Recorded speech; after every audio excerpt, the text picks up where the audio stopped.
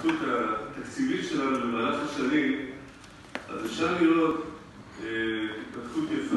והפעם, השנה, בניגוד לשנים קודמות, אני מתייחס לעשר השנים שהן כולן שלנו, של הנהלת העיר הזאת, שמתחילים ב-2008 עד 2018. שנים קודמות, הצגנו גם שנים קודמות, שלא כל כך היו באחריות שלנו. השנה אנחנו מתחילים להציג מה שכולו באחריות שלנו, מה המיוחד.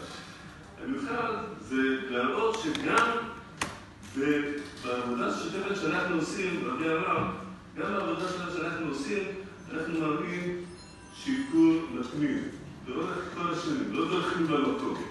אם אני למשל התפתחות התכנון התקציב, אפשר לראות שכמעט מדי שנה הצמיחה היא בין חמישה לשבעה, חמישה לעשרה אחוזים, שנה אמרתי שבעה נקודה שלוש.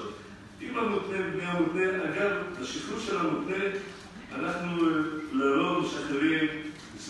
vicino fossero notizie di grande eh,